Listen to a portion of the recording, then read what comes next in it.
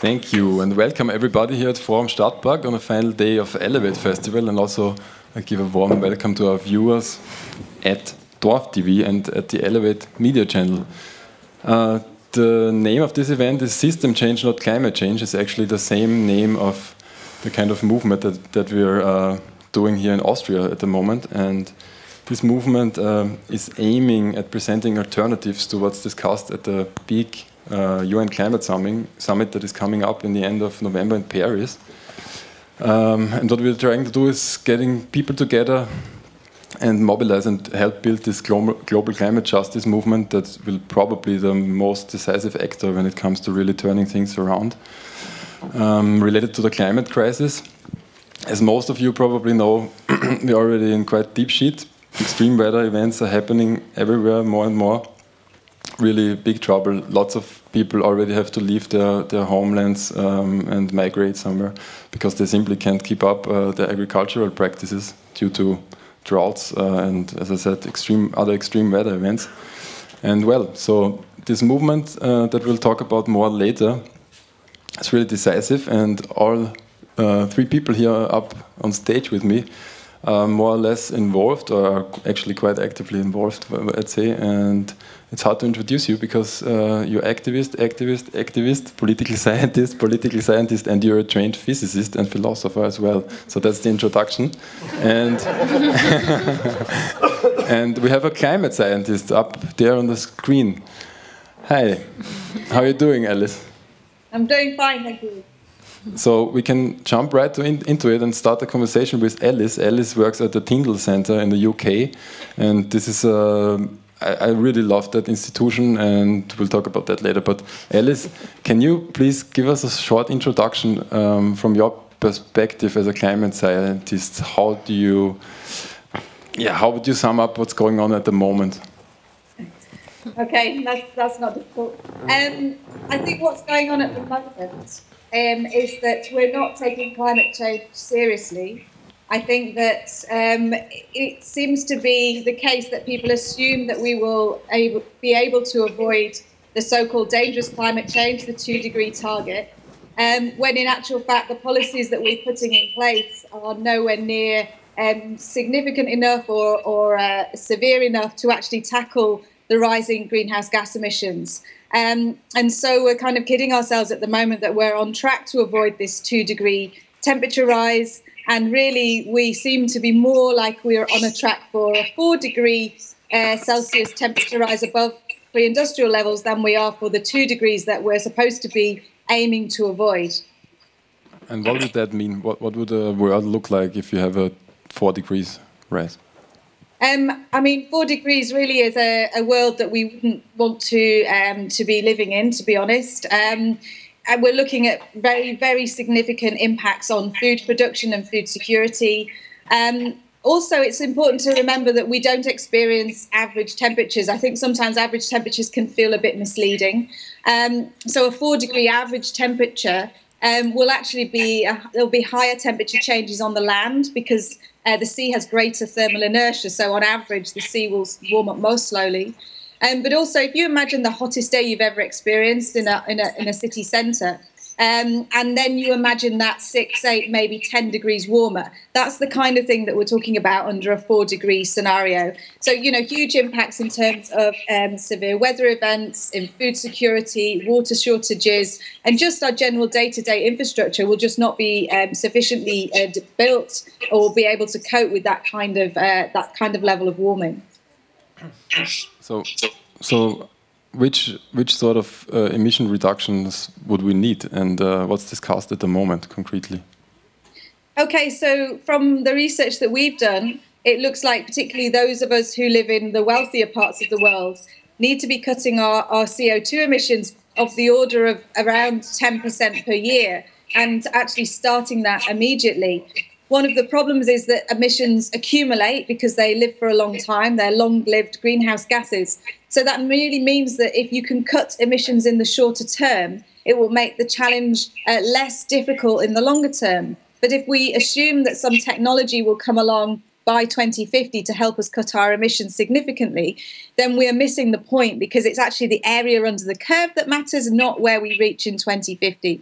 So we really need to be making significant cuts to our emissions, like I say, of the order of 10% per year for any country where per capita emissions are high, which are basically the EU, in the United States, in Australia, Canada, Japan, and so on. And then also the countries that are emerging economies also need to make significant cuts as well. We, we all need to make cuts, but but countries that like the UK need to cut much more than others. I'm actually a bit shocked. Uh, 10% a year. I mean, how the hell would that work? And uh, that's not what the UN, uh, what the what the what, what the mainstream climate scientists are talking about, right? Can you please describe a bit uh, where you arrived at these conclusions, while the the more mainstream people they don't talk about that? Okay, so one of the things that um, is often assumed is that emissions in the developing parts of the world or industrializing economies um, are going to peak um, in the relatively near term, when in actual fact that's going to be extremely challenging um, if those countries are able to develop their economies in the way that they should be able to. Um, and so, if you take a slightly different view on this, uh, first of all, if you allow for some of these other countries' emissions to grow a little bit more, um, also um, our analysis looks at a reasonable to high probability of avoiding two degrees. So, at least 50% chance, but hopefully more than that. Um, and the higher that probability is, is, the higher the chance of avoiding two degrees, then the, the smaller your carbon budget is. And so, what we would argue is that some of the analyses out there perhaps paint a, a, a slightly more optimistic picture, um, partly because they will use a lower probability of avoiding two degrees. And also in relation to the assumptions made about other parts of the world. And I think we just need to be more realistic about how quickly those emissions in other parts of the world are going to rise, um, simply to support development.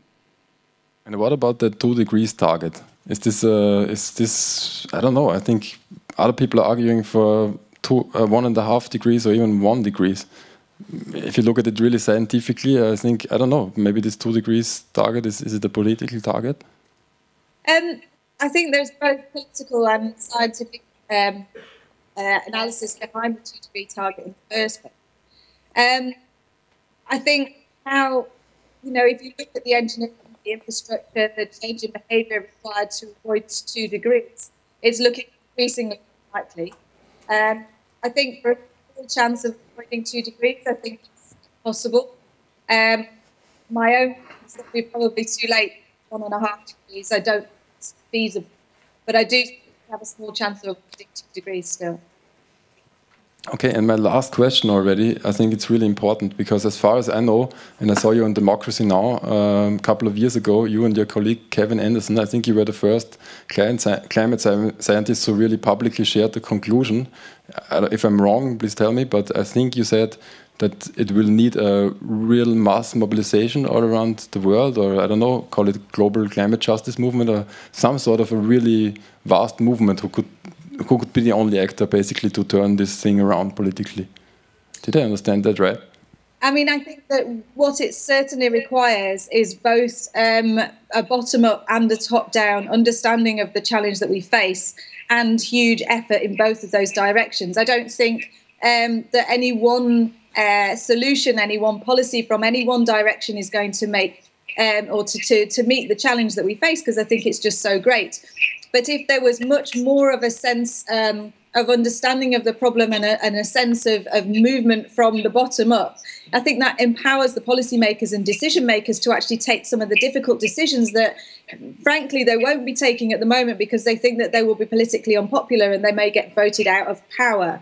So, you know, I think there is responsibility on us from the bottom up to actually consider you know the decisions and choices that we're making on behalf of other people because as soon, you know when we're choosing high carbon lifestyles then we're either choosing low carbon lifestyles for someone else in the world or we're choosing for them to have to adapt to more climate change because you know people in rich countries are in a much better position to deal with that so you know we have to look at ourselves at our own lifestyles um, and also empower our decision and policymakers. And, and we are also those decision makers, we shouldn't forget as well, in terms of our peer groups at work, in our universities, wherever we may be, to empower those people who have the, the, the, the opportunity to, to, to, take decisions from the top down uh, to do so. So I think it just needs a huge effort from the bottom up, from the top down, from the middle. You know, everybody needs to be on the same page.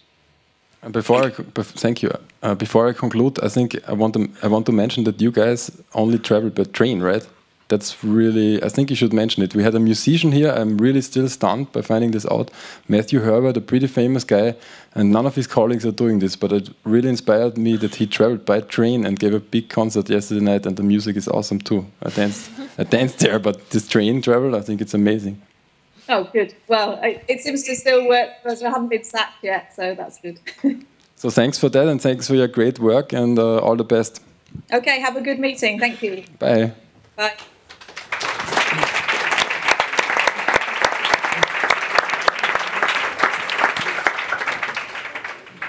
All right, so up next is Tadzio Müller, and we decided to talk about climate politics from above and from below, and that it means uh, we'll figure uh, figure out and discuss uh, what's going on uh, on the UN level, especially at the moment in Paris, what they'll discuss there, and then we'll jump to the movement. And uh, will tell us a bit more about what climate justice means and uh, how this movement develops at the moment. But first, the UN thing. Okay, that was a lot of stuff. Um, first of all, I want to just thank Alice, who I don't think is here anymore. Okay, maybe I'm. Maybe Alice, you're still watching on the Elevate channel. Thank you very much. That was really extremely helpful. Um, because Alice kind of gave us the spiel on what actually needs to happen. If you look at the projections of emissions on the one hand, what's going to happen in terms of climate change, and she also added a justice dimension to that. She spoke about a kind of climate change phenomenon that doesn't affect everybody the same way, that isn't caused by everybody in the same way, that hasn't been caused by everybody the same way. So, what I think Alice exemplifies is a move that's been happening in a lot of climate science to realize the enormous political implications of what they've been researching for a long time and to actually start speaking out on this. And I think it's really inspiring the example that, that her and her colleague um, Kevin Anderson have been setting. The other reason why I thought it was great what she said was because it gives us a nice foil against which to compare what will happen at the Paris Climate Summit. And basically, none of what she talked about is necessary will happen at the Paris Climate Summit. We can already say with absolute definitive certainty, not the kind of I'm pretty sure that, but absolutely, definitely, there will not be a deal in Paris that does anything even remotely close to what is needed to give us a decent fighting chance to prevent climate chaos and to do so in a way that takes into account the historical injustices of climate change and kind of fights the challenge in a just way. Just to give you one example, people traditionally think that a climate summit is about negotiating emissions reductions, you know, the thing that climate politics is actually supposed to be primarily about. Not a single bit of emissions reductions will be negotiated in Paris all the countries that will negotiate there have already put forward their so called intended national determined contributions, that is to say, their voluntary, non binding emissions reductions proposals.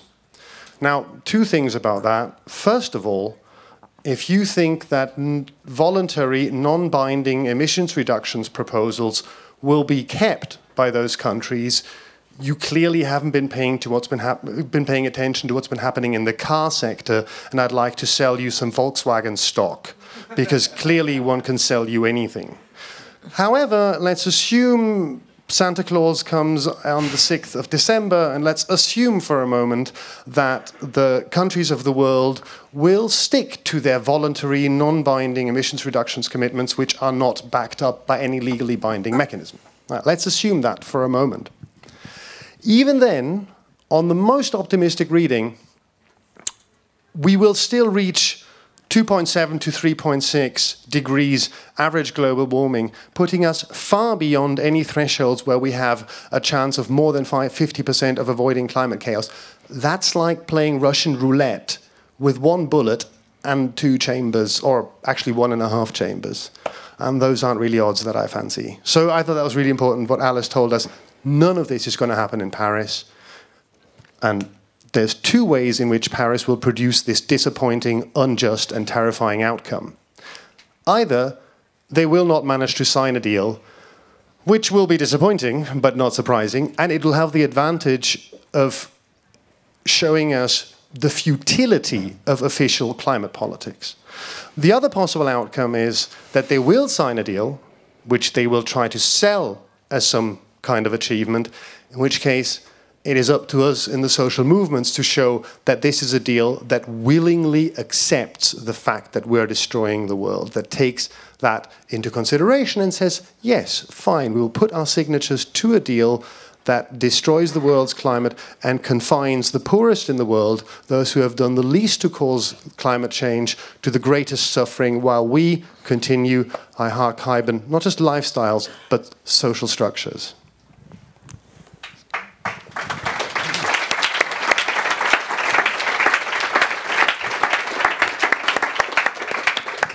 So what, what should we do then? I mean. Well, you know, of course, abolish capitalism, but I think somebody said that at this festival, and nobody could quite work out how. Um, so let's, you know, have more kind of me me medium level strategic gambits here. Not, not that I'm against abolishing capitalism; I'm all for that, but you know, we've never quite worked out how to do that um, yet. So let's keep working on that. Um, what we need to do is, I think, two things. I think it's important for um, some of us to travel to Paris and be on the streets there. I mean, first of all, some people will travel to Paris and negotiate on the inside of the summit because it's not as though nothing important will happen there. The Paris summit is one of the few places in the world where issues of climate financing and adaptation are being discussed. That is to say, given that, as I briefly mentioned, you know, climate injustice is the defining fact of this issue. Those who have done least to cause the issue tend to suffer most. Those who have done most to cause the issue tend to suffer least. Um, and that's usually distributed along kind of countries in the global north and countries in the global south. So many countries in the global south are saying, look, you can't just ignore those summits because they're the only places where we can actually talk about the north accepting some of the ecological, like accepting responsibility for some of the ecological debt that it owes the global south and start making some kind of, even if it's only pitifully small, reparations for that. So some people will travel there and, and have these you know, important climate justice discussions on the inside, and I'm not trying to um, disrespect them and that. Others will have to travel to Paris to show on the streets on the last weekend of the summit, the 11th, 12th, and 13th of December, to show, make a clear statement of rejection, show we cannot accept that you just signed a deal. Let's say they signed a deal to show, or if they, even if they didn't sign a deal, basically to show you people up there, you're talking bullshit. Like, we need to talk about the real things that need to be ha happening. We need to start leaving fossil fuels in the ground. We need to start getting out of industrial agriculture. We need to start making reparations for the ecological debt the North, the north owes, owes the South. And social movements have to be on the streets in Paris and actually make those points because they're not being made by the summit itself. But more importantly, what we need to think about is strategies where we live, whether it's in the European Union, within each country, within each region, or obviously beyond. We need to think about how to fight the structures that produce climate chaos and climate injustice and how to create alternatives to these structures. So an example that we've been working on in Germany is the German energy transition, you know, where we've knocked out um, nuclear power out of the energy mix and we are about to possibly kick coal out of the German energy mix and replace that with a system of community controlled, kind of bottom up um, renewables production. I'm not saying renewable energy is like a perfect panacea. It, it, has its own problems, but it's much better than a fossil nuclear system. And that's the kind of struggle that people can get involved in to really do something about climate justice rather than having this absurd hope that a summit that's failed 20 times to produce a solution is magically, by some mechanism that nobody has yet explained to me, going to produce a solution the 21st time. It's simply utter madness. Sorry, I, I get a bit ranty about this. Thank you, Tadzio. Vandana, Tadzio also already mentioned the real solutions in the field of uh, energy. And of course, agriculture is a major uh, area where we have to uh, bring, come up with these real solutions. And uh, make it visible and make it uh, broadly practiced all around the globe. And also briefly comment on what you think about the about the summit, but especially the relations between climate and agriculture. I think it's really important to look at that more closely. Sure, uh, but maybe I'll just sort of give two backgrounds. One in 1992, when this climate uh, UN framework uh, convention on climate change was agreed to at the Earth Summit, and it was led by the southern countries. My own country played a very big role. Um, at that point, we didn't have globalization of trade under free trade. It was 92. 95 is when WTO comes into force. After that, two things change. One is the outsourcing of pollution, and then a totally dysfunctional system of a globalized economy under corporate control and national accounting systems about whose burden. And I've written in my book, Soil Not Oil, that actually Walmart purchases 80% of what it sells in America from China. That should be in a Walmart account hmm. and not in a national system. So that's something we really need to do as civil society, make the corporations far more accountable for their missions and not work on this pre-globalization period of national sovereignty in eco economic decisions. Second was that it was already a period of what, you know, I, I wrote the speech of my environment minister at that time. And you might, I don't know how many of you uh, remember Lawrence Summers, who now is head of treasury or what. Uh, he was the chief economist at the World Bank, and he wrote a memo saying there isn't enough pollution in the South. And it makes economic sense to shift the pollution to the South. First, because they aren't polluted enough. Second, when they fall ill, it's cheaper. And when they die, it's cheaper. And then in the negotiations of that time, which is why we wrote uh, the language of the arithmetic of genocide, where they said one American is equal to 10 Bangladeshis and five Chinese. That if, if people die, it doesn't matter because life costs less. And that was already the thinking. Um, and therefore, there is absolutely no concern that people are dying today because of climate change. It's not a, you know, the discussions used to be 100 years from now. We lost 20,000 people in my region in 2013 in the Himalaya. 30,000 with the Orissa subsuper cyclone. Droughts don't kill immediately, they lead to forced migration. And that way, a flood is different from a drought and a cyclone. So, but we did have a legally binding framework. The problem was just hijacked in the period of the Kyoto Protocol to become a reward for the polluters through emissions trading. And I've always thought it was a bit like the indulgences of the Catholic Church. You remember there was a period when the Catholic Church would get indulgences and say, you can continue to sin. Mm, just bribe us a bit, you know, we'll bless you, continue to sin. And uh, in a way, emissions trading and the Kyoto period was exactly that. And of course, they're trying to continue that.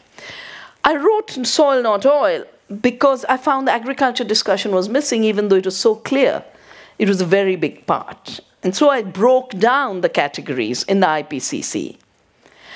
And for example, in transport, a lot of the transport is globalized food trade.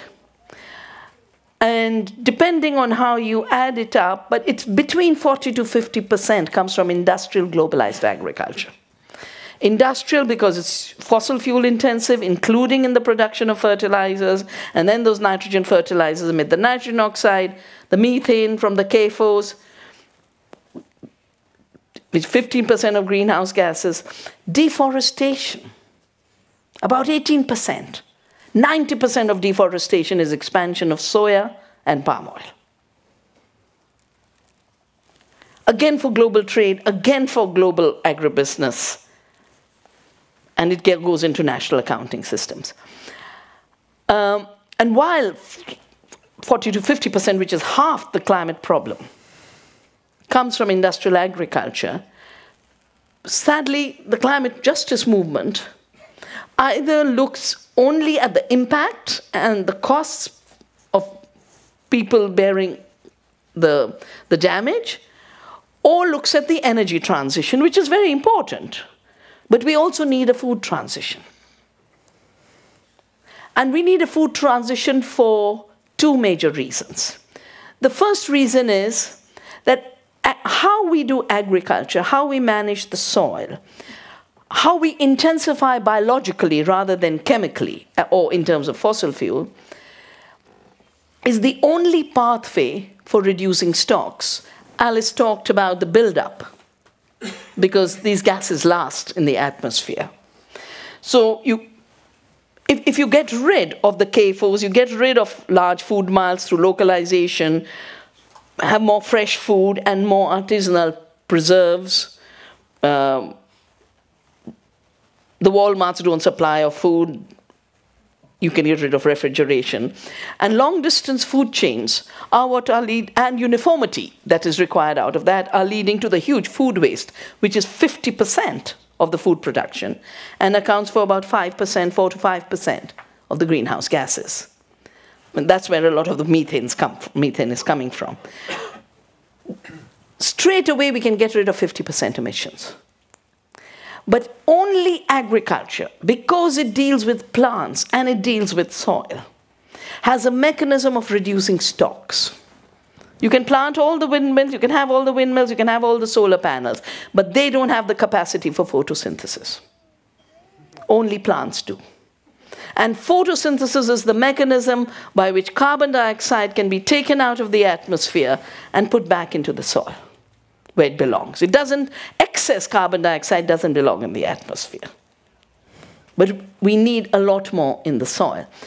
And when we put more of that in the soil, according to the UN, according to the commitments made for Paris, they talk about uh, emissions gap which is the commitments will allow us to reduce to this level for that 2 degree centigrade, which is linked to reducing 400 parts per million to 350 parts per million.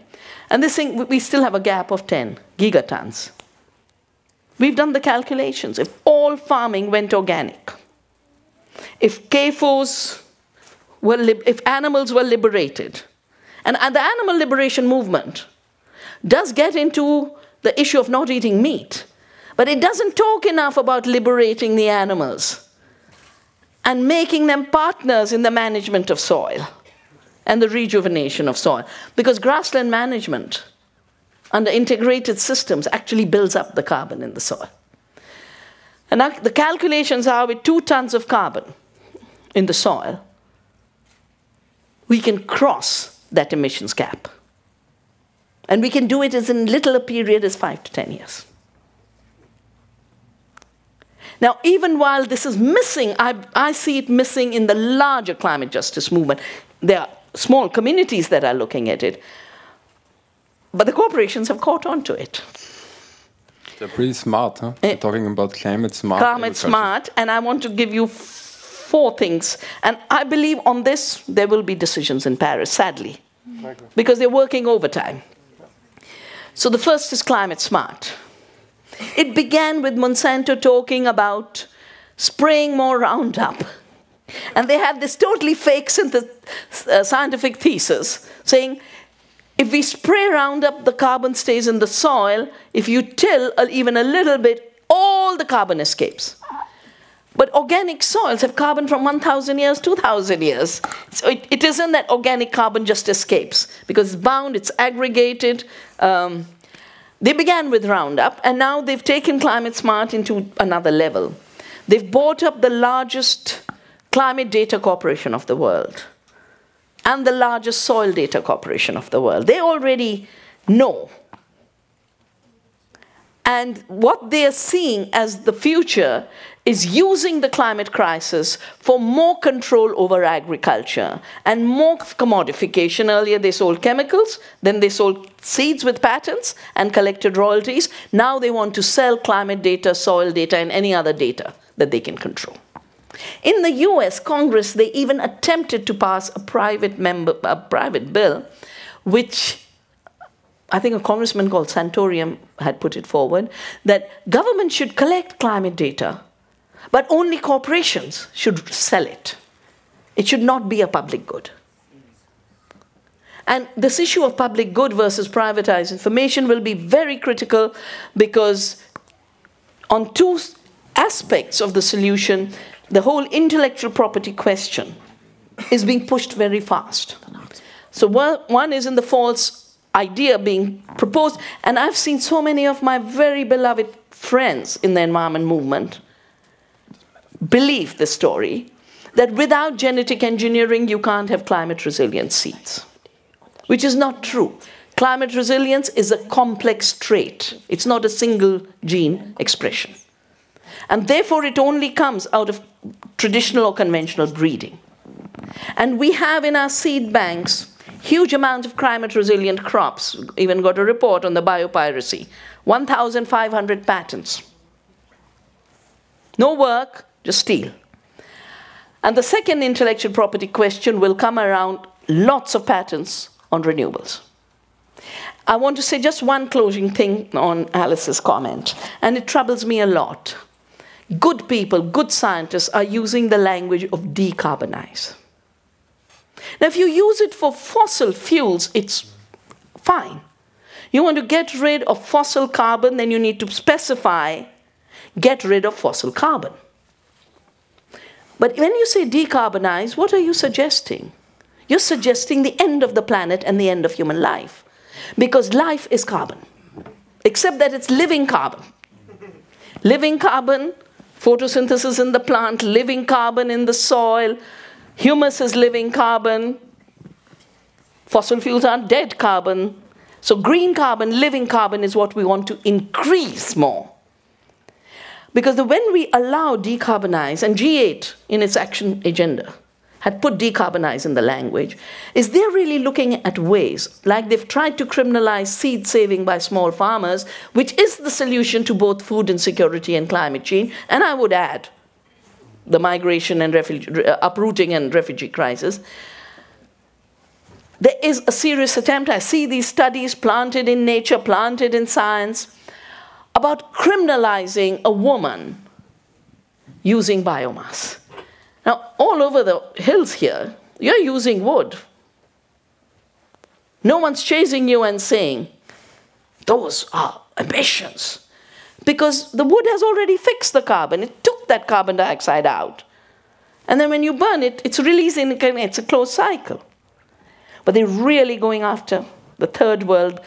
Only affordable fuel, even today, 80% of our fuel is biomass and it's in the hands of women. And decarbonize, of course, in agriculture would be an absolute disaster.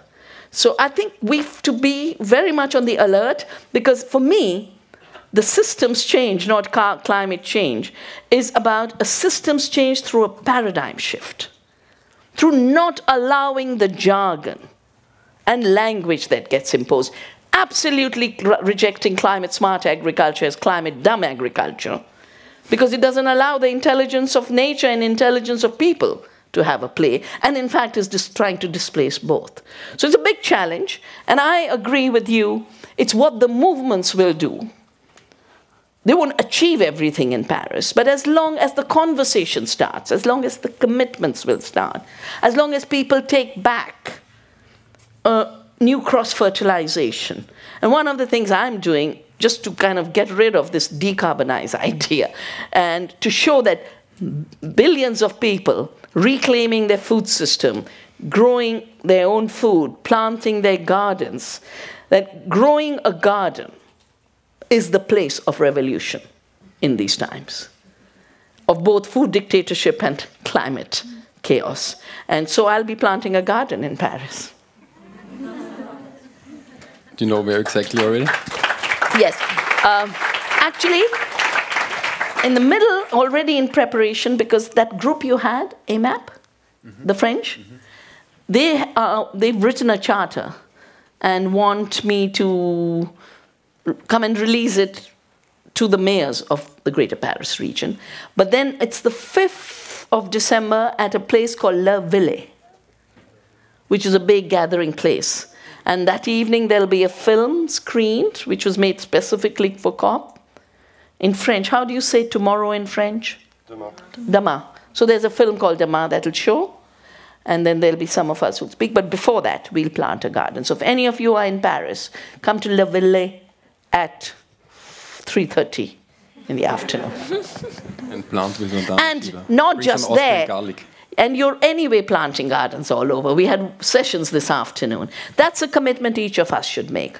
We're going to support our organic farmers by eating organic, and we're going to plant a garden.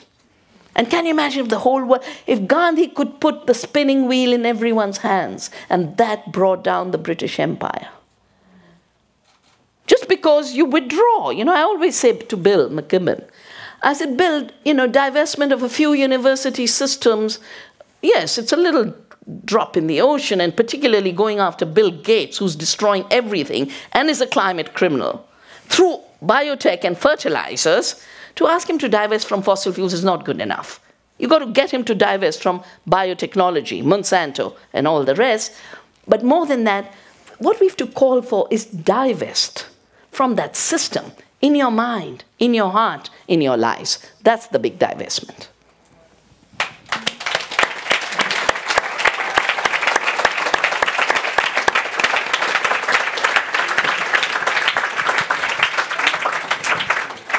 Thank you, Vandana.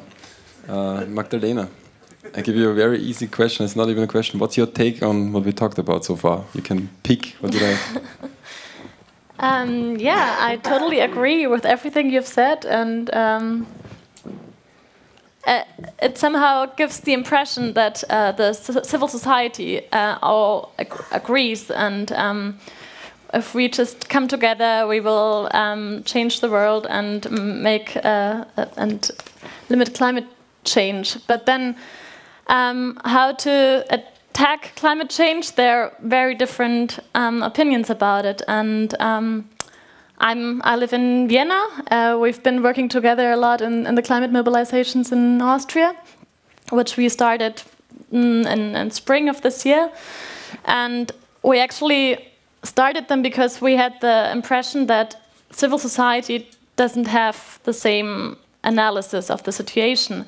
In, in Austria, the um, climate change topic was mostly or only treated by by the environmental organizations, by Greenpeace, by WWF, uh, um, Friends of the Earth, Global 2000, um, and it mostly stayed an environmental issue because it were en- environmental NGOs, and it mostly stayed a lobbying issue, uh, something where you can um, make pressure by lobbying and um, then treat the subject in, in the international negotiations. And um, we somehow thought that's well, that's not enough. And we also saw that um, actually civil society actors are pushing solutions which we think are false solutions.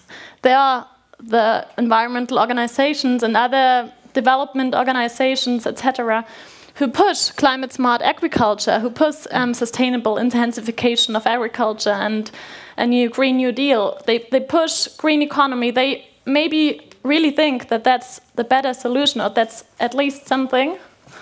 Um, it's, it's the less evil.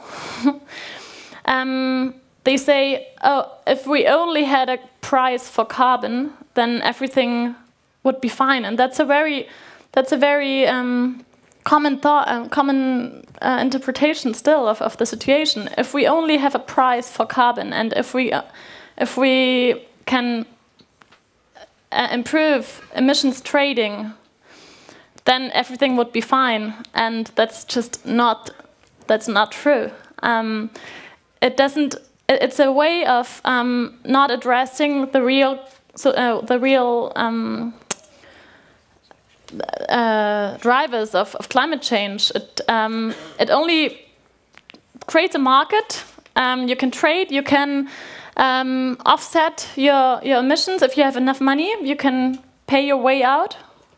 You can keep on with the same economy model and. Um, Tha- and that's actually what civil society organizations are pushing for, also here in Austria. Not all of them the same way, but um, uh, I just wanted to say um, may, maybe some people think we all just have to come together and together we will make pressure and then the uh, policymakers and um, econ economical financial actors will finally uh, give up.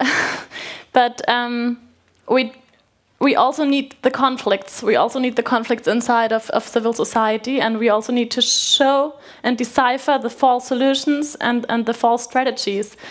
And those conflicts are very, very important, even though it might seem that we never get together, but um, they're more important, I think, sometimes than, than um, consensus.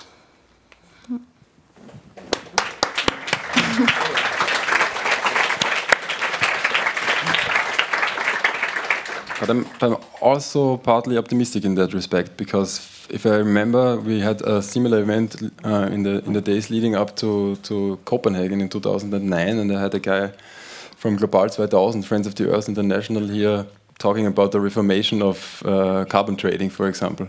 And now they have a very clear position against it. So these these these big organizations are also moving, and I think lots of things changed, right? In the more like in the relationship between the more rad radical left wingers, uh, climate justice people, and these big organizations. I think they're coming together. It's very exciting. Also, at your action that you had against the the lignite mine. I mean, I mean, like, yes, there, there. There's only so much reality that you can ignore, even if you're part of a highly paid NGO working inside the climate summit. Um, there's a lot of reality you can ignore, mind you. But after several, like, in essence, the demands and positions taken by the radical wing of the climate movement, that is the climate justice movement, um, in 2009 at the climate summit in Copenhagen, which is, for example, we asked the NGOs on the inside of the summit negotiations to walk out to essentially delegitimize the process on the inside and point people in the world to the fact that it was with social movements that the hope for change lay and not with these extremely corrupted negotiations. Um, that was a very marginal position in 2009. And in 2013, at the Climate Summit in Warsaw, it was actually the vast majority of civil society organizations that decided to walk out and said, actually, we're not going to get anything from a UNFCCC, UNFCCC meaning United Nations Framework Convention on Climate Change, as in the institution that organizes the climate summits every year. Um, in 2013, um, this, this institution actually was, basically, or rather put differently, those summits are actually sponsored to a certain degree by the industries that profit from the processes that produce climate change.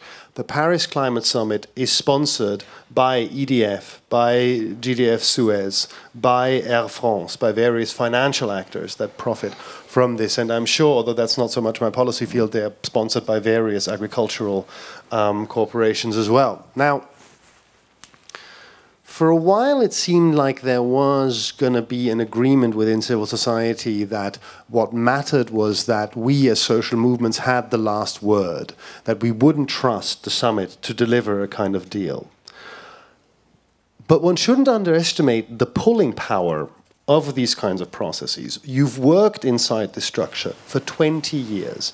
And I don't mean this in a, in a narrow sense that people know, oh, if the UN climate summits end, I'll be out of a job. It goes much deeper than that. It has to do with identity and about people who've invested, you know, like in Rio in 92, a lot, a whole, in a way, a political generation was born or created there, you know, the Rio generation. These are people who have, with all their heart, put their faith into these institutions as those that will provide a solution.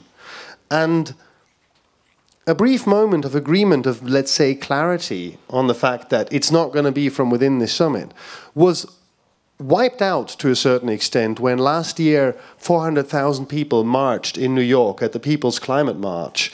Um, in New York to kind of put pressure on the Ban Ki moon UN climate summit. Um, various organizations called it a game changer. So many people have never marched for climate change or for against climate change, I suppose. um, sorry, I always get that one wrong. Of course, it didn't change anything at all. No, nothing. And it wasn't covered. It wasn't. It was no, nothing changed. But But a lot of people then suddenly were like they stared like like like hares like in the, in the headlights of a car. They're like, oh, four hundred thousand people on the street. That's amazing. And that's the sort of big danger that we just say, all right, we put lots of people on the street and we focus people's energies and hopes and desires on this summit process, which you know, we, we know will not produce the kind of deal we need. And there is a real danger. And and in a way, you'll find this. You will find this in the press. You'll, in a way, find it also within all of ourselves. We're like, well, it's a global problem. Clearly, it requires a global solution, and there's only one global institution that does that. It's the UNFCCC. So they should produce a deal. But it's a way. It's like saying, okay, I need to get from here to there but there is a wall there. But I'm just going to keep running that way. You're going to keep hitting yourself against this wall and you're going to keep getting a bloody head. What we're going to have to start doing is develop strategies beyond this corrupted institution that we're going to bring about the changes that we need, whether it's a kind of soil transition, it's an energy transition. You also mentioned, which I totally missed, the global trade system. I mean, in fact, at least in Germany right now, we also have not a totally irrelevant chance um, to TTIP. stop TTIP. Precisely. Now, more. I was this. I have this line. Climate politics is remarkable because it, unlike in any other policy field, climate politics don't actually take place there. Like climate politics is made more in energy, agriculture, and trade than it is in actual climate politics, and like that's that's the illusion that we need to break. Like, and that's that in, in, in a way, this whole Paris climate, I mean, I, I again, I, we have to remember that there are certain issues about climate financing which are addressed only at the UNFCCC levels, and I work with a lot of organizations and folks that say, hey, that's, you know, you can't totally delegitimize the summit because these things do get discussed there. However, and yes, I get that, but the danger is, the, is that we perpetuate this illusion that there is this thing called climate politics where climate politics can actually be advanced in a positive emancipatory way. That is not the case. This policy field does not exist. What you have is trade politics, energy politics, agricultural politics, pushing forward climate injustice, and a climate justice politics refers precisely to those policy fields, and it shouldn't get caught in the illusion that it's the climate summit where climate stuff actually happens.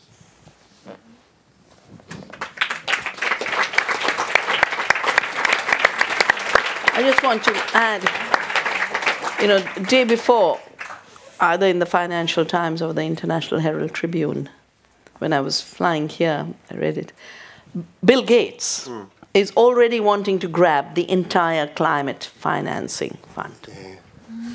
He's saying it should go for improved seeds for, you know, and when they want, they say improved seed, it means GMOs and industrial agriculture.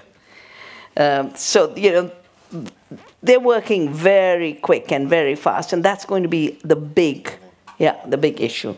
And the, the, important issue, like again, as I said, in Paris, there will not be negotiations about emissions reductions. That's another part of that illusion. People think at a climate summit they talk mm. about emissions reductions. That's crap. They will not be talking about emissions reductions.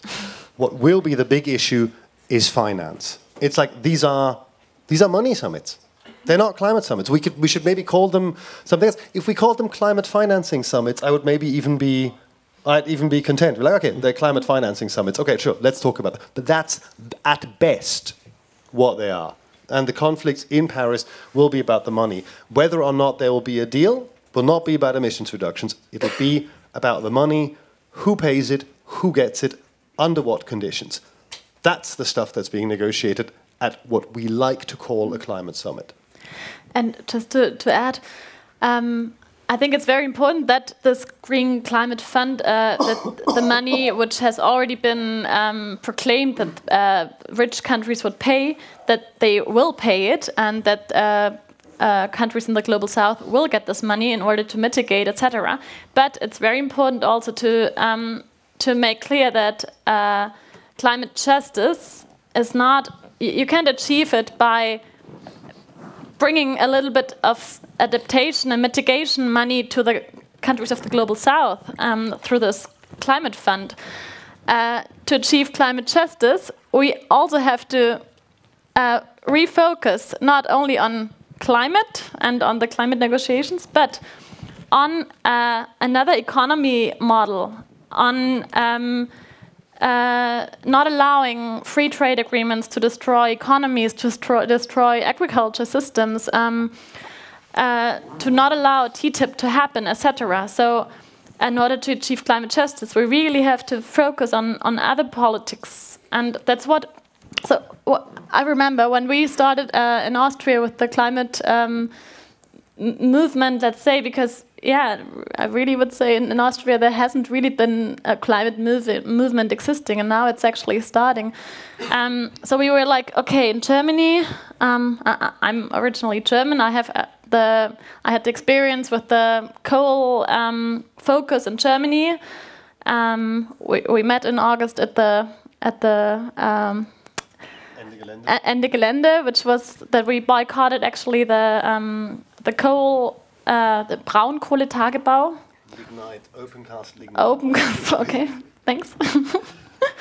um, and we were like, okay, so what's what could be such topics in Austria? Because we don't have this huge coal extractivism in Austria.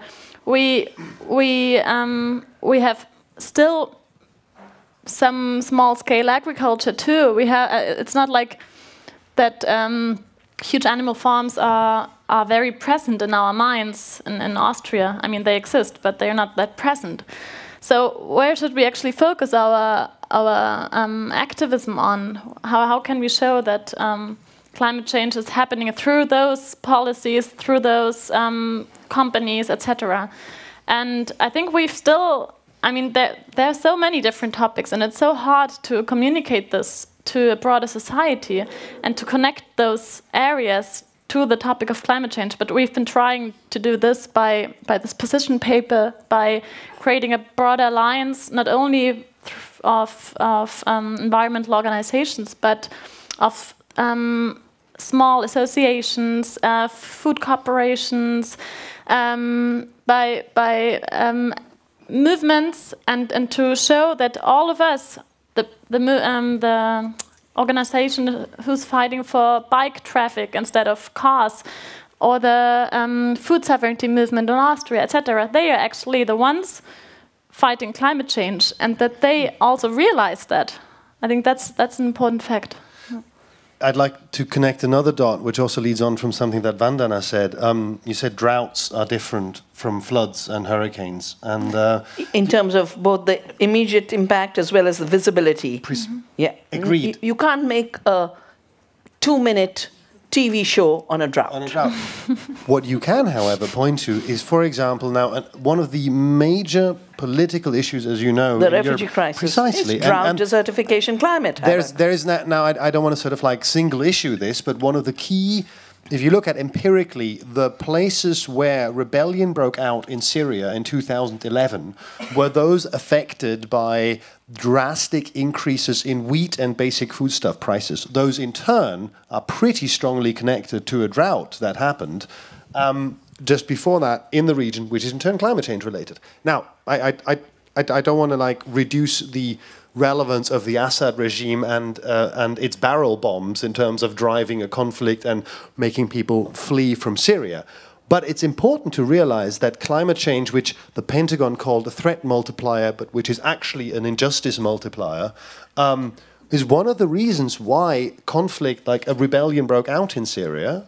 Because again, the places where it started, Deraa and other cities in, in Syria, were those that saw massive price rises in, in, in, in basic foodstuffs. And, and in that sense, I think it's also incumbent upon us as a climate justice movement in Europe, not, not to instrumentalize mm -hmm. Syrian refugees for our agenda, but say, look, this is the kind of world that we're looking to. That's the kind of world, not in some 50 years absurd future time frame, like now.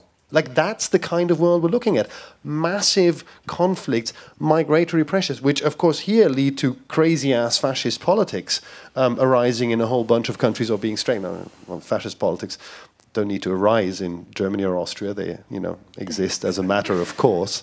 Um, no, but I'm not. I'm not trying to make fun of this, but it's actually like the the current refugee, the current refugee situation is intimately related to climate change and to climate justice. And that's the kind of links we need to make. When you said that climate change has been very much an environmental organization issue in, in Germany, uh, in Austria, I think in a way in Germany it was too, until we got that whole struggle about the energy transition going, which people realized was a social struggle, was about energy democracy and, and about, you know, like the, the anti-nuclear movement was always, you know, against big corporations and against certain state structures. That's what we need to do. Like in Europe, as you well know, you know, climate change is seen as this environmental issue, and we need to just every time this kind of stuff happens, we need to be like, no, it's about our fundamental social structures. Mm. And if we don't like, again, an injustice multiplier. Injustices and conflicts will multiply. We need to be aware as we need to tell people this, and we need to show that the kind of situation that we have right now in Europe will happen a lot more if we continue to rely on these stupid climate summits to like deliver something that we will have to change ourselves.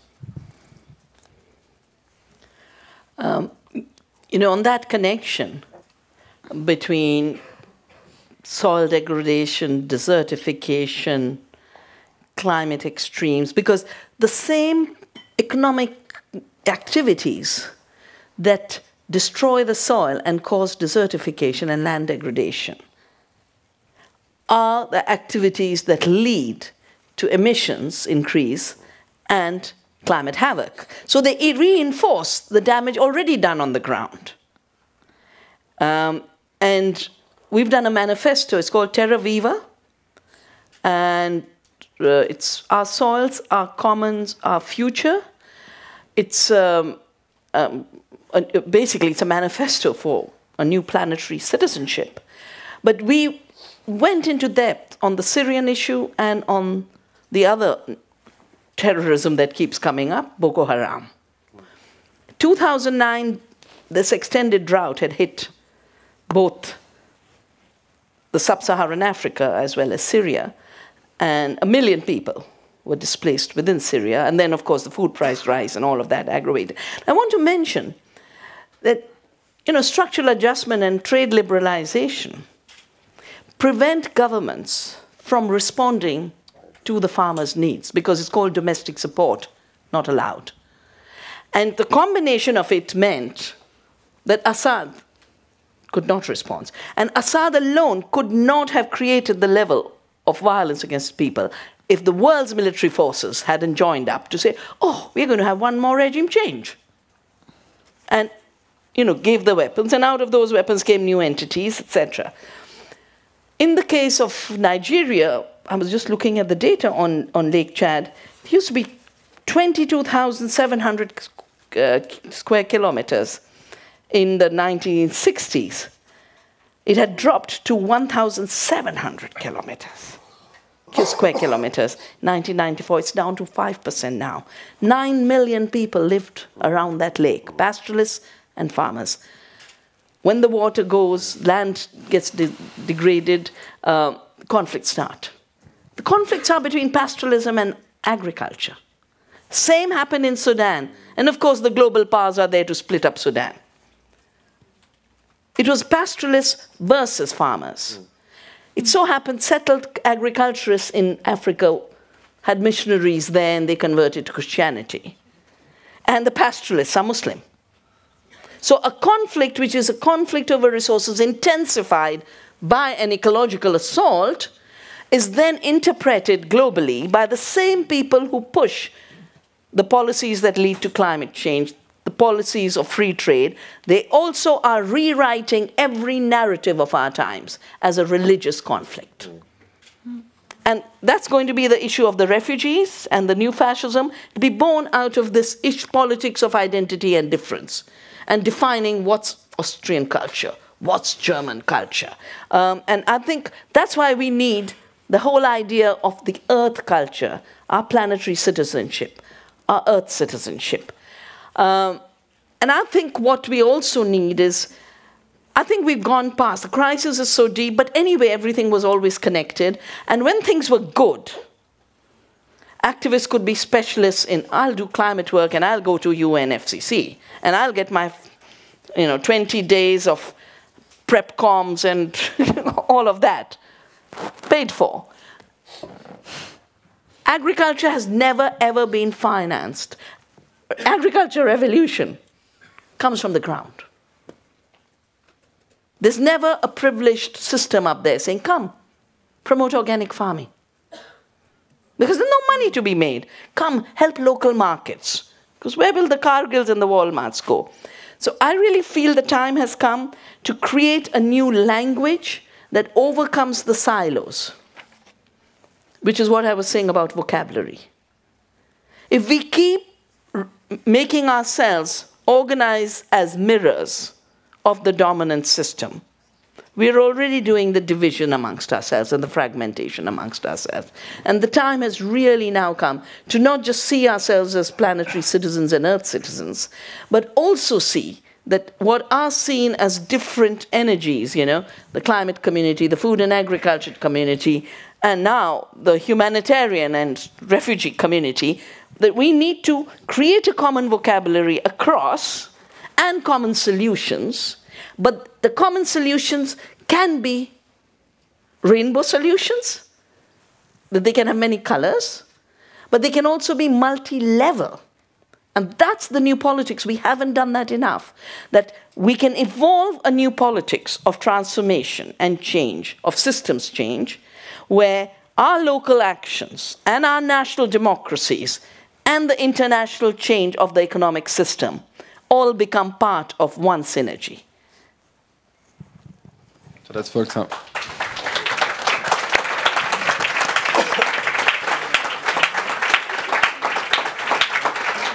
So that's, for example, a community field or garden, right? Then you have the aspect of you take the carbon out of the air, you grow nice food, and you do it together with refugees, for example. And no, that's not all. And you do that, and you go to your municipality and say, make this an organic municipality.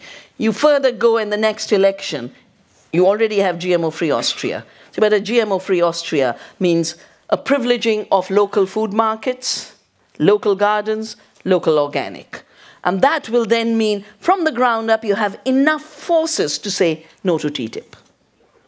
I think that's an important factor because also often we stay at this level of uh, I change my own my own consumerism. I buy uh, fair trade, I buy um, organic, and I buy that and then that and you totally limit yourself to a market subject. You only see your free choice of, of changing society and changing the world by um, your buying, no? your um, choices of, of buying on the market. And you don't see yourself anymore as a as a democratic subject uh, with political um, options and and with with a lot of other uh, with uh, with a lot of power actually. Um, uh, with a lot of creativity, but we, we kind of lose this creativity um, while neoliberalism crawls into our our mind. Yeah. I mean, this, these things are real real challenges because of the multi-scalar nature of some of the challenges. I mean, um, certain kinds of policies that would be I think the Americans would call them no-brainers, as in stuff that would be extremely obvious and reasonable and good to do, um, are not possible within the EU framework because of certain um, because of certain EU legislations, and other stuff is not possible because of certain global treaties. I, I'm just saying, I think it's important to recognize like, where do we first build power you said kind of build up the power at the local level in order to then marshal the forces against something like like TTIP or a European Union legislation. I just wanted to point to it if we you know, it's it I think it's easy to say at, at some point that we need to develop a new politics.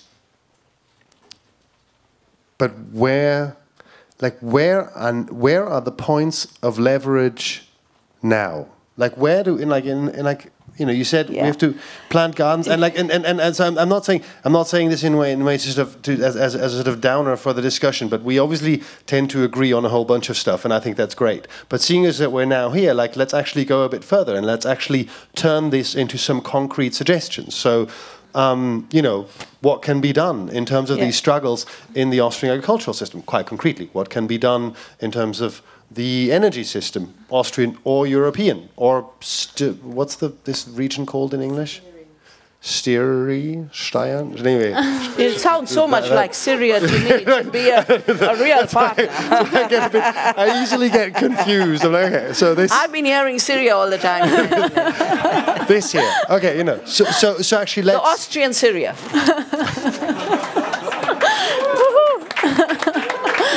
Right. So so that be in a way sort of my you know my, my challenge for us now for the for the for the remaining time we have. Let's make this really concrete. Mm-hmm. Just one little suggestion. You know, if I want to leverage you, you know, With your moleskin notebook. yeah, whatever it is, you know, basically the way you leverage is there's a point here, and then you leverage. But if I am being myself, then I don't leverage. I am. And that's the difference between local embedded shifts that create new confidence in community to do a different kind of politics and shape a different kind of economy. It's not leveraging anything else initially. It is just the right thing to do. And we are not going to be bullied to fall into becoming part of the climate sin or the biodiversity sin or the soil sin. And I'm using the word sin in terms of wrongness. But what we have to do is when we build, build enough forces and show enough example, that's when you go to different levels. And why is it important for the bottom up just now? Because the top has been hijacked. And like you said, there's a wall there. You can bang your head, bang. You know, I made a conscious choice to not make it a habit to be at UN negotiations. I played a very big role in Rio, played a very big role in the Convention on Biological Diversity, and in some elements of the UN FCC treaty, as well as in the Rio principles. But I realized that, you know, this was really a politics of what I call the square bracket, bracket and the comma. You know, in UN treaties, they put something they don't agree in in square brackets. Mm-hmm. then the next three rounds of negotiation go about whether the square bracket should stay or be removed. And all it takes is one United States, States delegation to, you know, to kill it all in the CBD, even though they're not members. They're not members of the COP, but they are the biggest players because of their bullying capacity. What the place for openings are local and regional governments, and in certain places, national. Now, there is a Bhutan which has made a commitment to keep 70% of its forests to deal with climate change and has made a commitment to, to go 100% organic, and we work with them. That happened at the national level. There was a time Ecuador was able to put a constitution on the rights of nature. And after the collapse of um, Copenhagen, Evo Morales went back and uh, took the leadership in drafting the Universal Declaration on the Rights of Mother Earth. So, because things change, because things are in dynamic flow, we don't know where these life choices we make, not as fragmented consumers in individual capacity, but as communities shaping another politics and another economics. And we build the pressure up. And as we build the pressure up, we also create the resistance and the alternatives at the because at this point at the global level our biggest alternative is offering the paradigm that's different a systems change at the intellectual level Just w- one thing. When you use the word community, I sometimes like I come so in like as, as a subject, I I come from like in Germany we don't have a particularly positive relationship to the term community, um, partly because you know the Nazis mobilized the term a lot. Re- in reality, I'm not sure. I'm, I'm. I don't know which part. I'm part of multiple overlapping translocal communities, and I'm not sure the communities that I'm part of are as such capable of political action. I think oftentimes, at least when I speak in English with people about this, the term community comes from an, a U.S. political culture. not at all I, I say. I say. I said when the I. us is allergic to the I, term I, I said when I when I when I when I when I speak about it. No, no. For example, like communities of color is something that American activists will often refer to, and like I don't. Maybe this is a bit of a detailed discussion. I was just I wanted to actually concretize, maybe a bit of a weird German word, the the use of the term community and say specifically we're talking about the local or municipal level of doing politics, because if I look at Berlin, for example, the city where I live. there's a whole variety of dispersed communities. Some of them are more centralized, and they do occasionally have, um, in fact, conflicting interests. So I just wanted to say, where does this actually become actualized? Which community are we part of? I mean, the people here, are they part of a party community? Because Elevate is also a festival that's about dancing and listening to music. Are they sort of a bunch of drug taking, electro music listening people? That's a great community. I've often been a part of that. Hilariously fun. Um, are they part of a climate community? Are they part of an academic community? I just want to say we need to be, I want to be as specific as possible about proposing strategies or suggesting strategies because because that's what it seems to me is is not right now it has to be about where do we build counterpower and if you say community i am part of so many communities i'm part of a lefty community a gay community whatever. But they're not necessarily politically actionable.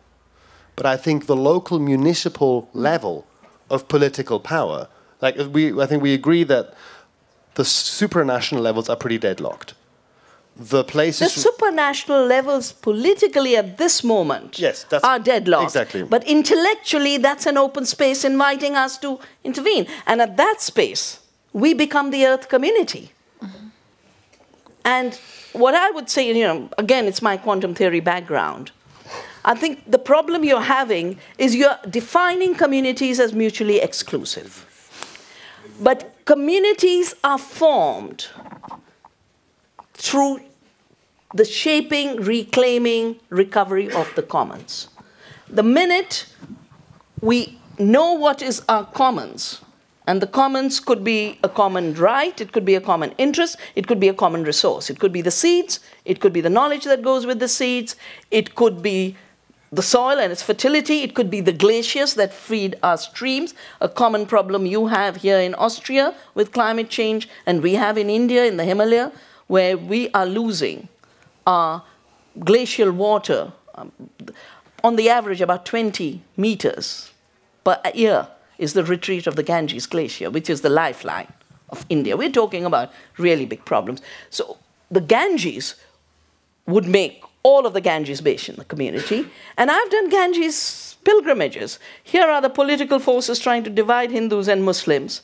And we walk along the Ganga, Muslims and Hindus together talking about the Ganges as our mother, I have just endorsed the Dalai Lama's call for Paris.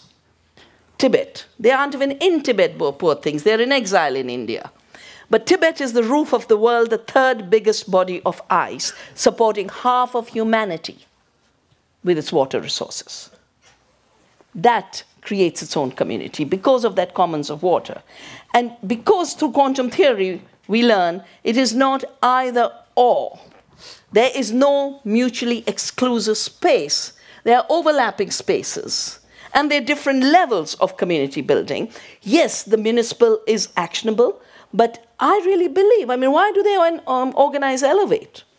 Because I think Elevate, the young people in Elevate, see the power of ideas for change. And if ideas have power for change, especially in a period where all kinds of words are hijacked, you, European community, it's hardly a community, it's break up Europe. You know, turn it into a free trade zone. Free trade is hardly freedom. So just because oppressors take away our precious words, it isn't that we say, oh, they used it, so we won't use it. We reclaim our freedom. We reclaim the commons. We reclaim community not through theoretical hair splitting, but by living the life that shapes the community. And this afternoon, there was a wonderful presentation on gardens here in Graz. And there was talk about how the garden is creating a community where people who'd never have been together are starting to become one. Just uh, a short example uh, when, when all the. Um, just wanted to add a, a practical example of how communities could maybe be mm, be lived or reclaimed also. Um, with all the refugees um, coming now, I thought it would be really, really important that, and it's happening actually some at some places, that communities, meaning uh, neighborhoods, uh, meaning small towns, meaning uh, parts of the of the city, uh, that that actually the neighbors start a meeting that can be any one of you uh, giving out uh, letters in all the in all the houses and inviting to a meeting and and saying okay let's meet and let's talk about how do we treat the subject how can we um, uh, how can we um, organize against racism in our in our um, neighborhood? How can we organize houses? Are there any um, is there any space which could be used? And such community meetings could actually happen not only about the refugee topic, but about energy, about water, about um, community gardens, about anything. And it's it's like this this kind of um, real appropriation of, of democracy and of, of commons. And we, we really have to do that more, I think. We don't even know our neighbors, and, and we live in the same house. We, we should, we should um, start to reclaim that there are community, um, that there's a, how do you call it? Um, Zimmer. A room. Sorry. Uh, a common room in every house where people could meet and talk together. I mean, it's not possible to talk to each other if there's no room for it. I, I think the, the point that I was trying to make, maybe not very eloquently, was that the term community for me sometimes can suggest that there are no, not just differences of opinion, but also differences of interests. And um, no, I, it doesn't mean that. I, I, I know. It just means you have ways of resolving conflict without killing I know. each other. I also hadn't suggested that they're not mutually over, overlapping. My one of the key challenges we face right now in Germany in our struggle against coal is the opposition. Not just from organized, like not, not just from the trade union bureaucracy or hierarchy, which as a radical leftist we often like to criticize the evil trade union bureaucracy or hierarchy. In fact, our the kind of let's say, the envi- which is still largely an environmentalist call. Um, an environmentalist or energy struggles call for a coal phase out, which I would say in Germany is absolutely imperative. We need to get out of lignite, it's the dirtiest of the fossil fuels, we need to do so immediately. And when there was a human chain around a open cast lignite mine in the west of Germany in mid April, six to 7,000 people, Trade unions mobilized the same weekend in Berlin 12 to 15,000 people in support of lignite. Now, that's a genuine conflict of interest. And I'm absolutely, and I agree with you, we have to find ways to actually mediate these conflicts of interest. And I was suggesting, sort of pointing to things like local political structures as a place where we might want to mediate them because at this point I don't know of a shared house in which both mining union members live and radical environmentalists. They tend to kind of live in, in different houses and in part also in different parts of the city or different cities. All I'm saying is that, and I think there's actually not as much, I think there's a more of a terminological disagreement here than a political one. Um, I think it just we have come up in Germany against this barrier, and I'm not just a kind of climate justice activist. I, I I also kind of come from a Marxist tradition, so the question of what workers do and say isn't entirely irrelevant to my political background. And we're facing this wall of determined opposition from workers in the, the mining sector and in industries that use a lot of energy um, against our call for, for a coal phase out. And if I talk to them about communities, they're not, they say, I'm not part of your community. You're part of a different one. And I need to find ways of engaging with them, which may be in terms of the, the way you describe community, but for me, it may be in the way of, of, describing sort of local politics. But that, for me, is my question. I think we have the same question. How do you bring sort of these different positions together in a common struggle? That's why I'm saying yeah. the term, the, the, difference I think is more terminological than political that yeah. we're having up well, here. It's also historical because most of the world exists in community till neoliberalism starts breaking us up into atomized existence to be consumers. And that's why Margaret Thatcher said there are no societies, there are only individuals. Because with the neoliberal in, in, uh, agenda, you can't have organized communities, politically active, making conscious choices. You've got to suck everyone in. As an insecure person, feeling and experiencing inferiority every day till they get the next brand and the next brand. I notice the shoes get gaudier by the day. You know, I mean, shoes used to be elegant. And now they're just funny little masses put together in factories, you know, with funny colors. And, you know, the people on these funny, in these black suits, and then they have these crazy, shiny shoes. Um, and, you know, I, I know what's happening in those factories. I know how the best weavers used to make clothes like this are there just stamping the glue for Nike or Adidas, who must change the fashion and the design on the daily basis. So consumerism requires breakdown of community. Colonialism deliberately attacked community structures and the commons. My own life as an ecologist has been shaped by dealing with the forestry issue, which the state took away from the commons. Our forest movement was all about reclaiming our forests as commons. And you know, yes, there will be some people with a livelihood, but just as in agriculture, there are small farmers and organic farmers struggling. You have the big farm unions who are extensions of agribusiness, who can pretend that more fertilizers, more centralization, more hooking up to global trade is in the interests of the farmer. So we know there's been this splitting within the same interest of big farmers and small farmers.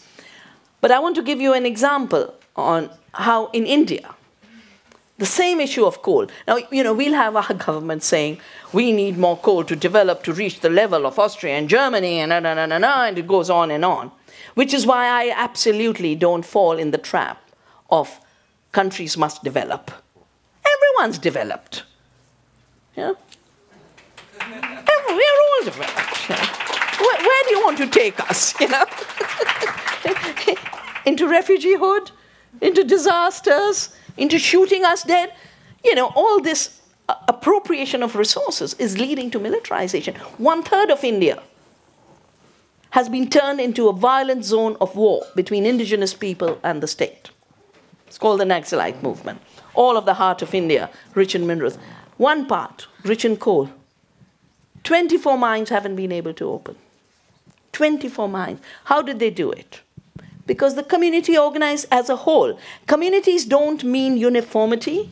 They don't mean there is indifference, that women and men don't have a different status, but they negotiate that. That the Dalits and the Brahmins, no, but two things happen. One, there is negotiation if there's community, but second, when there's a massive threat, like your homeland being uprooted, you hang together as one. And all I'm saying is, our hanging together as one today requires hanging together as one earth community.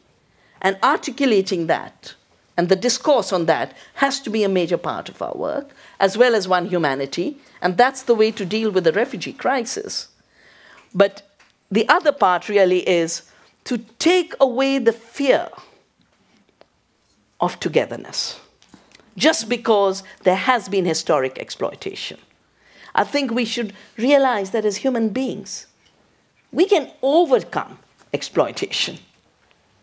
That we don't have to be identical. That women can be liberated from patriarchal structures.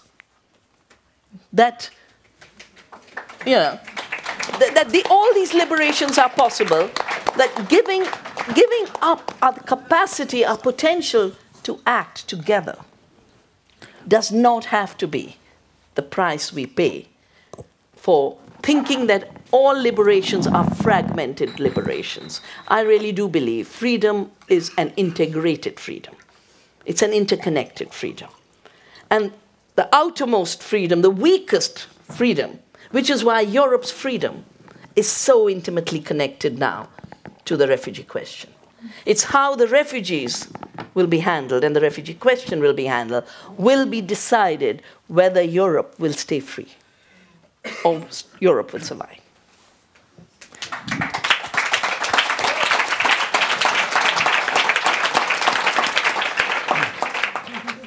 what I'd really like to discuss uh, before we go into the groups, I think we should speak about some historical movements. I, I, think we should look at some experiences and look what we could learn out of it, just briefly. I know we don't have that much time, but I think I would be really interested in that.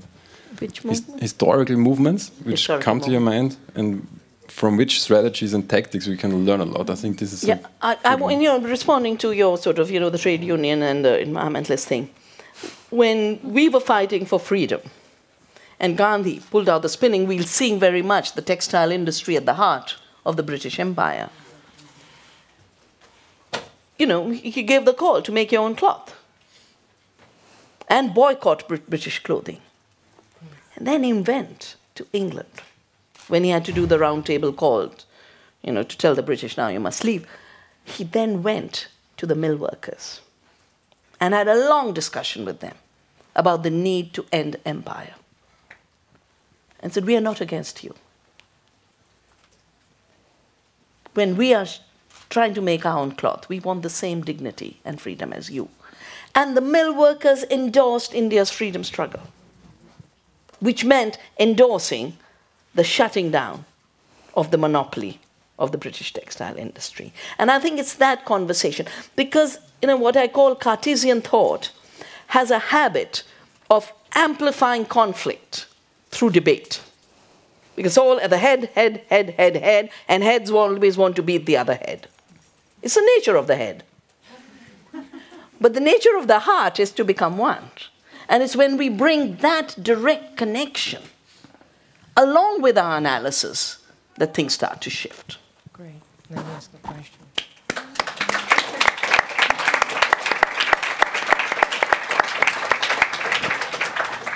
Okay, so my question is to Vandana Shiva.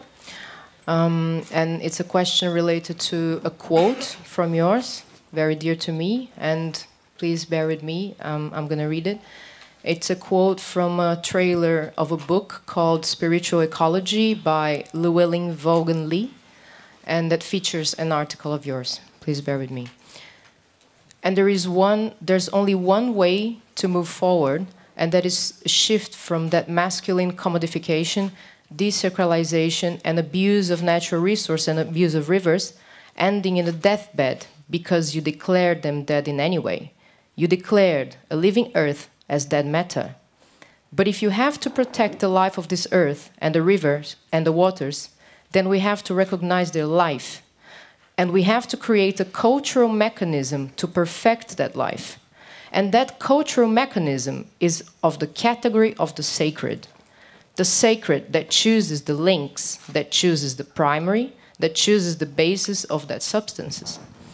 My question is, or please can you elaborate on what does the category of the sacred mean to you and how it is related to the work you develop and what you stand for? Well, you know, sacred basically means the intrinsic integrity, the intrinsic value. It could be of a river, it could be of a seed, a species, a person, a child, a woman. That recognition of the intrinsic value. And with it, then, the obligation to do no harm, to not violate. That's what the sacred is. It is not religion, because all fundamentalist religions have lost the sacred. Otherwise, which religion could kill other religions in the name of defending a religion? So, what we are seeing is a huge separation of religion from the sacred and religion from duties to the earth and to our humanity. And that's why I keep coming back to the refugee crisis gives an opportunity to connect back and reclaim religions from their huge warring tendencies right now. And it's so easy for Europe. You know, Europe, anything happens, it slips into the Crusades in its imagination.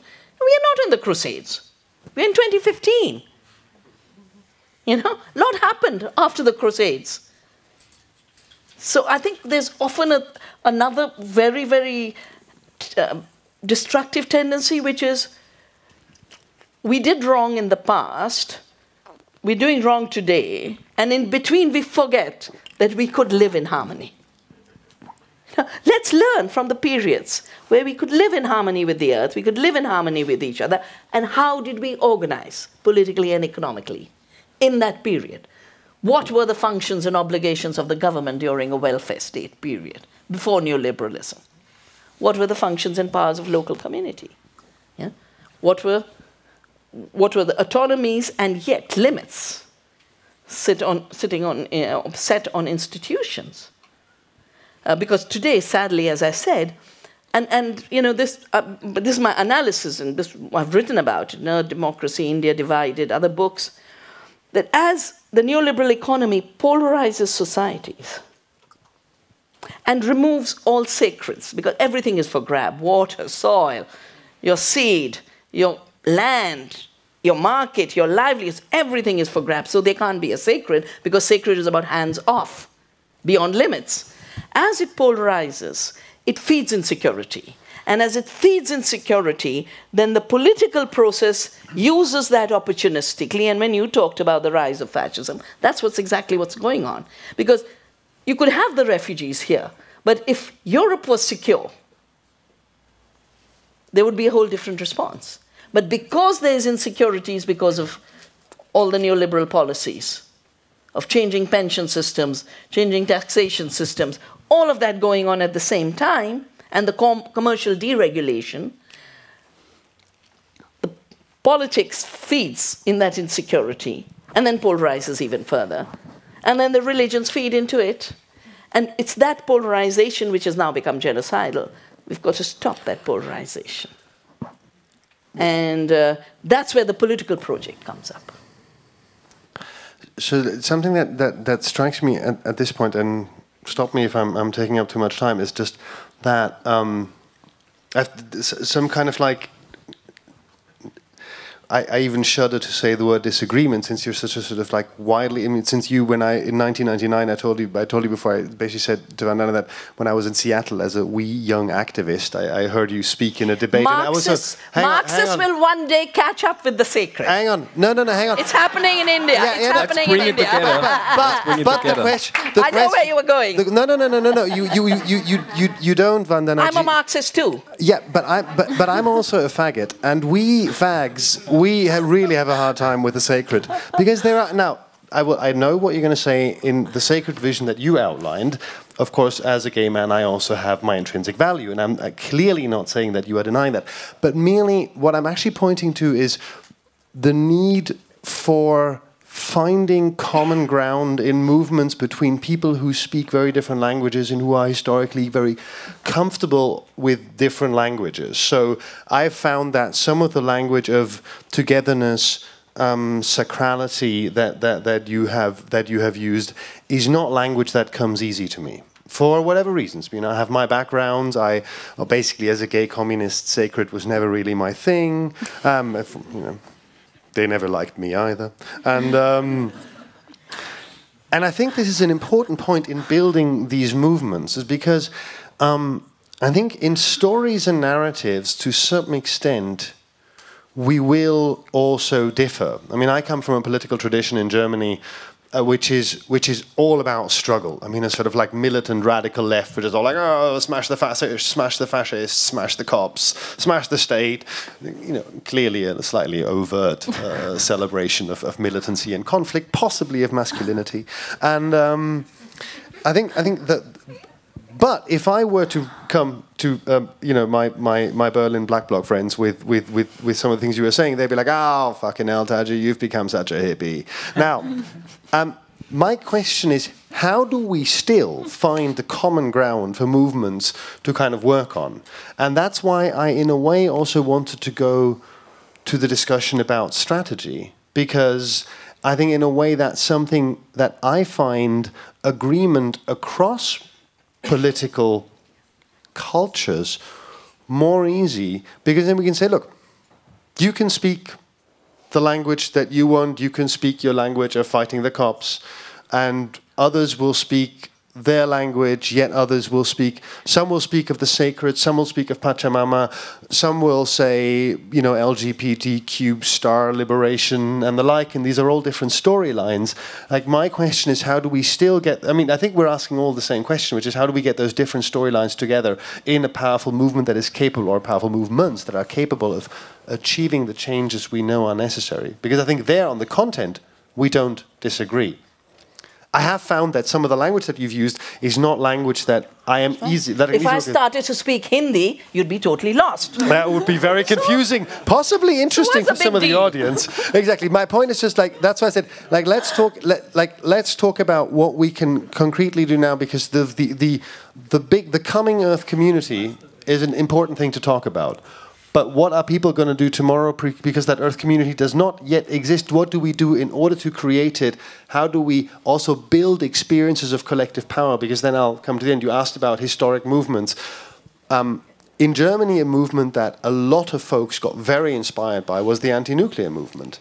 Like, where people from very different political cultures, urban radical, autonomous black bloc people, really conservative farmers in certain parts of Germany, in the south of Germany, um, came together across supremely different, also just discursive story, and they would have never even told talk the same language. But they said, if we want to stop the nuclear industry, we realize that the Achilles heel of that industry is the question of where they dump the waste, because that always has to go somewhere. Right? They can defend those the power plants really well, but where does this waste go? That becomes its its Achilles heel, and folks focused their energies on that. And after really pushing up the conflicts in Germany so much around this issue, they finally were able to force Angela Merkel into her famous nuclear phase out. That's like building these kinds of experiences of victories, which you can do by planting a garden together, by shutting down a coal, fire, uh, coal mine like we did in, in, in, in August in Germany, or by actually fighting, achieving a sort of nuclear phase out in a, in a country where nuclear industry was a part, important, important part of the energy mix. Like that's what we need to talk about. How do people feel empowered? How do they have a sense of, oh my God, we can actually change something of this general everyday madness that's happening? So that's what we like. That, that's the conversation that I wanted to have. How can people have this sense of, yes, we are much stronger than we are told that we usually are?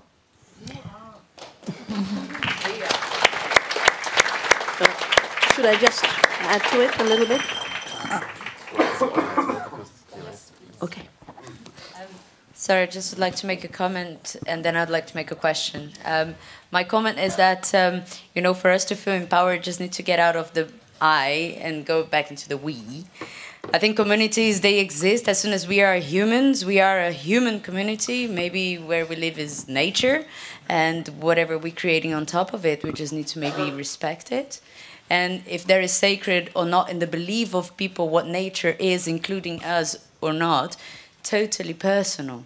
But that we all trust that this is not just an accident and that we are here and that we we are conscious. So this this change needs to happen on several levels. It's intellectual, yes.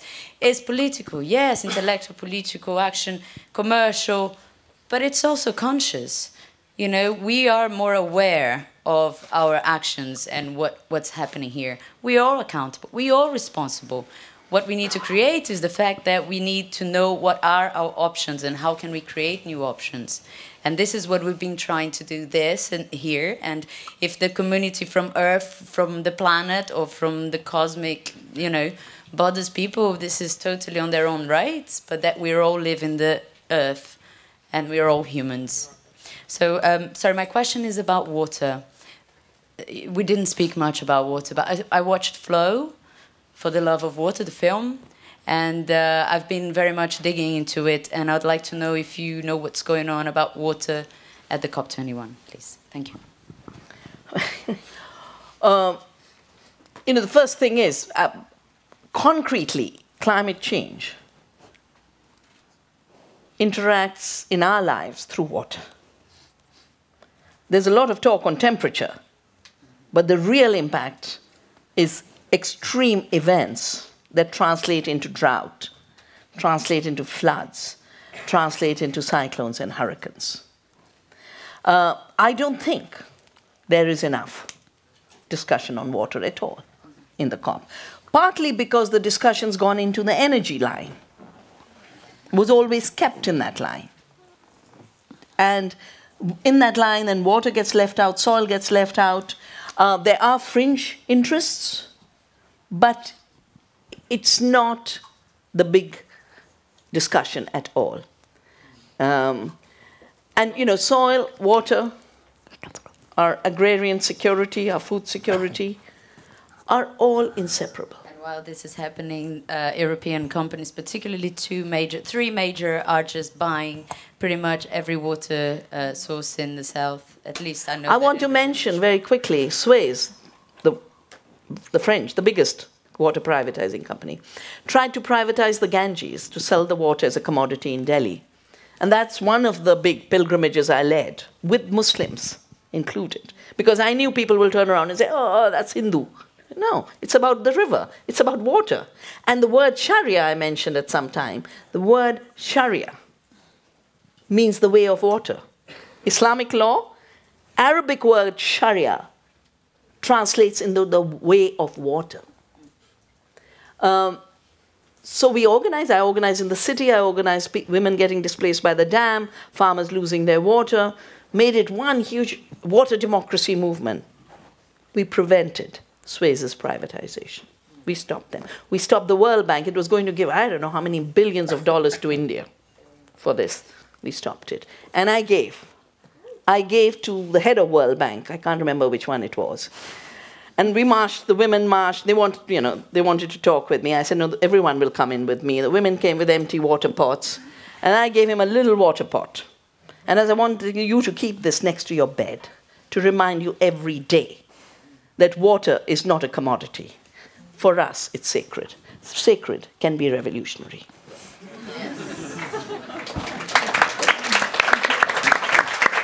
Though formally speaking, it can also be counter revolutionary. Well, that's uh, the issue of politics. No, agree, agree. I just wanted to add that I, I think uh, it, if the COP21 uh, or if, if the climate negotiations would have been about energy, that would have been good, but they were only about emissions, about CO2 and methane and calculations and etc. The word fossil fuels appears once in the whole text right now, which is being drafted, and it's not about uh, cutting them. It's just about yeah, like um, the, the, the line is that governments might consider reducing their subsidies for fossil fuels, and that's in uh, a square bracket. Just clarify in yeah. bra bracket land. So, guys, let's let's do one quick round of um, remarks and questions from the audience, and then we'll already have to split up in the groups. I think David is first, and then I'm not sure, but at least I saw the spots. Uh, yeah, I have a little comment and a little question. Um, on the comment on the community, um, from my experience, communities are built by identity, and uh, they work mostly if they have one certain topic, one certain target they can follow. Uh, we had in Styria a, mo a movement uh, that was much more successful as soon as they only targeted one specific goal and got less successful uh, as they uh, broadened their topics. So I think it's important to have multiple uh, networks that tease on or target certain um, content or certain organizations to make uh, something better. So it's very difficult to create a whole vision story at all um, from my um, experience. And uh, my question is, uh, Elevate is always uh, also about uh, uh, Uh, the online struggle, the digital struggle. How do you uh, connect with these kind of struggles? Because I think they're all, they're really separated communities, the digital one and the uh, analog one. Can I just, very quick point on the last question? If you want to get involved on a digital level in the civil disobedience around Paris, check out Climate Games, which will give you an app, apparently, um, where you can coordinate struggles against the various institutions that cause climate change online with the folks who are going to do it on the streets in Paris. ClimateGames.net, I think. And I want to just add that, you know, all the work we've done with reclaiming seed as a commons um, and open source and resisting the idea of patenting and intellectual property and genetic engineering, um, I worked a lot with people from the digital movement of open source software, that open source seeds and open source software are very similar in terms of continuing the freedom of evolution of both the human intelligence and freedoms, as well as nature's intelligence. Uh, the, the difference between the digital and the seed is nature is a very important player in the seed. I think digital, the digital um, aspect of it is, is very important, um, but uh, we we kind of have to be careful. I think with this clicktivism and likeism, which is being which is spreading, and it's um, it somehow gives us the impression that if we make a like on Facebook and a click on this campaign and on that campaign, that we will save the world by that. But I think we have to uh, go back with the activism to the streets too. I was thinking more about. I was thinking more about denial of server attacks than about a like on a Okay, Facebook yeah. page. But you know, uh, uh, just as a hypothetical, of course. Please, all the hackers in the room, help us with the summit. um, whoever has the microphone, please. Hello, hello. So I'm also struggling with um, what can I take home from this conversation, and I, I all the time I made up my mind what what can I what can I do, and I finally came to this point that I realized that we, I, don't have a community.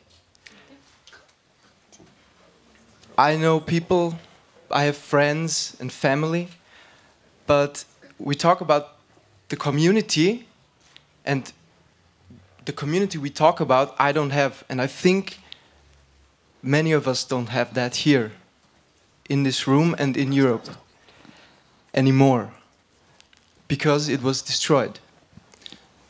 So I thought to be aware of that makes it possible to to know that we don't have it so we have to create it and i thought okay so i really loved the idea of making a meetings like to create community you need commons and the meeting uh, was for me i thought about it like when i go home um, I have to say, I, I live and work at Kleine Farm now, where I experienced community for the first time in my life, like conscious community. And I will go back to Vienna, live probably in a flat. And I thought I can do that. I can go back to a flat and have a meeting with the people I live with. And maybe, yeah, bring this consciousness back into the people's mind that we have to create it because we lost it. And I mean, all that that's what I kind of want to take with that realize that it is not here. We cannot. We have nothing to rely on, but we have to uh, empower ourselves to. And this uh, this is the other point of um, feeling um, empowered to act politically. I'm very insecure. I don't dare. I think ah, this, these are the, the big people. I don't dare to say something because I am nothing because I'm nothing alone. But yeah, the, that we have to create community. We have to um, actively create community because something that happened in India when uh, communities blocks the mines, it will never happen in Austria. Not yet, but soon. Yeah, not yet. But I'm, I'm, I just wanted to share what I w- will take home from here. Um, that I have to create community consciously, actively, from today. Thank you.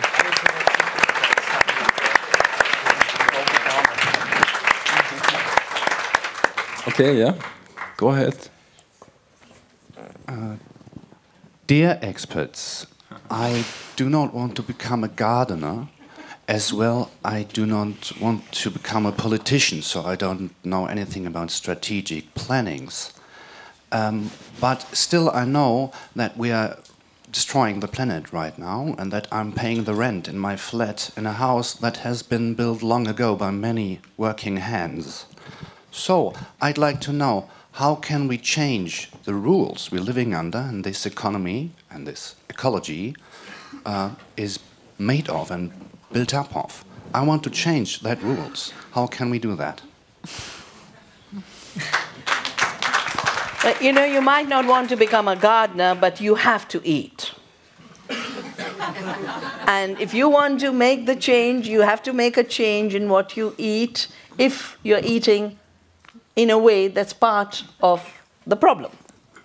If it's part of thoughtless eating, which is destroying your health, destroying the climate, destroying farmers all over the place, then anyone who hates gardening needs to realize that eating has to become a political act. At least that we can begin with. I think my response to that is slightly less inspiring, and I'd say I'm perfectly fine if you don't want to become a gardener or a strategic planner. I think that in social movements, or rather, I think when you're sitting on the stage like this, there's a tendency to say, oh, I do this, and therefore you should kind of all do it. I do civil disobedience, I love doing it, you should all go blockade a coal mine in August if you feel like it. But ultimately, like we kind of end up being drawn to the type of political practice that works for us on an affective level that makes sense for us personally. Some of us will be gardeners, others will sit and write reports about how organic gardening is farming is much better for the world and for the climate than it is for uh, than industrial agriculture. You know, yet others will maybe just live their lives and occasionally they'll hit the yes i will donate 20 euros to the solidarity fund with people who have been arrested at that lignite anti-lignite action because i think that's that's cool. Like, like i think it's it's it's it's you shouldn't build up this expectation that okay i'm going to now full-fledged like join this movement and be a full-time activist if you're just kind of starting out. Like find some people use what you said you know build a community like find some people that are involved in the kind of political practice that works for you and then engage in that practice start with that and see where that leads you like don't think that there is as we say in German, a king's road. There is no high road to political change. There's only like trying to put all these multiple different ways in which we try to fight for change into a positive relationship to each other so that they actually achieve these changes. But it would be hubristic on my part to be able to tell you you need to devise strategies or you need to become a gardener or you need to engage in civil disobedience. Find what works for you, find the people that you can do this with, and then start doing it. That's all I can say.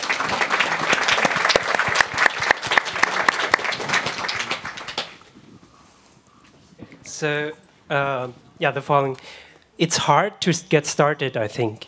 It's not easy to find the community, and from my experience, in special case in Spektral here in Graz, um, it's not easy to run a community, to make it work, to, to avoid problems, to get it organized. So I, I come to the point, first of all, I would like to offer the place of Spektral as a continuous institution where you can come to, you can cook together, you can meet, you can use a lot of resources we have just for free because we want to be a bubbling capitalism. We want to do the change. But if I look at it, I see you need to be really good in describing how it works. You need to be transparent of the hierarchies. You need to have well-planned structures that that help you uh, realize a community of more than two people. Like if you have hundreds of people, what do you do? So what I think is really important is to look at the working exa exa examples and take the schemes, look at the templates, what is working, and exchange this more in society to see, hey, community supported agriculture, it's maybe, okay, I want to start it, but how do I do it? How, if the existing projects unite and say, hey, that's our experience. Let's put it that way that people can start easily. And I think we have to do this and get up to scale with it and even try to think about democratic structures that we think about ourselves that will work better. So I would love to start this exchange, maybe have more exchange with you, or whenever you come to Spektral, you can look it up. Yeah, that's it.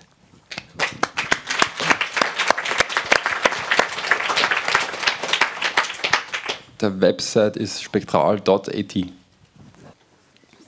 Just um, uh, if you ask yourself, so where can I engage now and where do I find my community? And uh, um, there's also already one really concrete option, but uh, the idea of, of this um, talk tonight, I think, uh, was also to not let you leave this place with like this really unconcrete ideas of forming community, but um, to engage right now in in uh, group discussions and to already find uh, find groups and um, talk together uh, how to um, fight climate change. Because there is a group, uh, a pretty big group in, in Graz organizing around around climate change. And it's really interesting. It's really creative fun and there is now the option uh, the opportunity for you to to engage in that and to get to know it and maybe form your community there too. Connect, connect. Yeah. sure. I think that's what we'll do now. It's fine with everybody. Yeah. Thank you magdalena. So thanks so much you guys on the podium and thanks so much for joining the discussion and i hope you'll have a nice time in the groups. And thanks and thanks to the amazing translators who, although I didn't listen to them, I think are amazing, and everybody else who made this possible, and for Josef for your charming facilitation.